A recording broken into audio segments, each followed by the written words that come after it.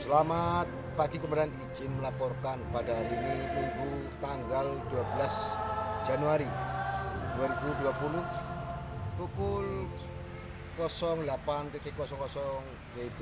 Tiga anggota Polsek Kroya melaksanakan patroli guna antisipasi gangguan kamtipas maupun tindak kriminal lainnya. Untuk sementara ini posisi dilaporkan di GKJ Desa, Desa Karangmangu yang sedang melaksanakan kebaktian yang dipimpin oleh pendeta Kinanti jumlah jamaat sekitar 60-an situasi aman dan kondusif. Demikian dilaporkan dari GKJ Karangmangu selamat pagi